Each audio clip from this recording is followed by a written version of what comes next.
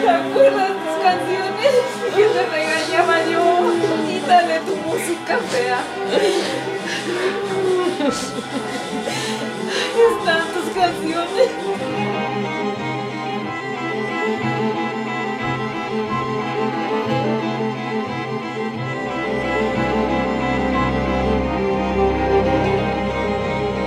Con una última canción fue que Tania despidió a su esposo Jordi, el joven repartidor de pizzas que murió tras ser atropellado por una patrulla el pasado 23 de agosto en el Boulevard Valsequillo y la 8 Sur de San Francisco Totimehuacán, perteneciente a la ciudad de Puebla.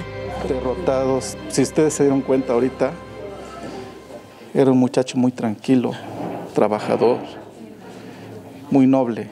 Él aquí en la colonia representó a Papá Jesús en, en Villa Crucis tres años estuvo. Era muy querido por toda la colonia. Y pues tú te imaginarás que la familia estamos destrozadas por eso. Un cortejo fúnebre acompañó al cuerpo a la iglesia y después a su casa. Familiares manifestaron sentir indignación ya que la empresa pizzera no ha tenido acercamiento con ellos. Únicamente se limitaron a reclamar la motocicleta. Primero que ellos exigieron allá, entre le estaban reclamando al Estado, a la abogada del Estado, la reparación de su moto, más no de mi sobrino. Nada, hasta ahorita no tenemos respuesta de nada.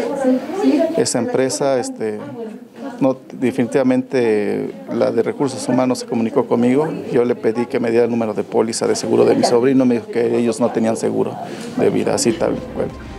Y es que no sería la primera vez que pierden a un integrante en un hecho de tránsito como este. Piden que la muerte de Jordi sirva como ejemplo y se mejoren las condiciones laborales.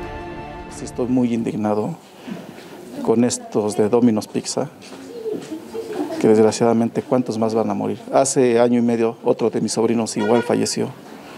Igual no le no, a sus papás les dieron largas y no les dieron nada. Nada, nada, nada.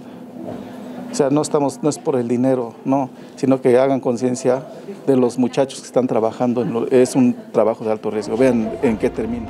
En cuanto al presunto responsable de la muerte de Jordi, afirman que procedieron con la denuncia correspondiente y dejarán las cosas en manos de las autoridades. Por parte del Estado ya hubo acercamiento por parte de ellos. Eh, el abogado de nosotros particular este, pues es está llevando el caso. No tampoco queremos hacer justicia porque pues solamente Dios sabe por qué hace las cosas. Eh, fue una mala suerte tanto para mi sobrino como para el policía, porque pues él en ningún momento se ha echado para atrás. Digo, no lo defiendo, pero sinceramente hasta sus familiares se han acercado con nosotros, ayer se acercaron y se pusieron en la mejor disposición para llegar a un buen acuerdo y pues eso ya lo dejaremos ante las autoridades. Con imágenes de Nadia González, Rocío Carvente, Noti 13.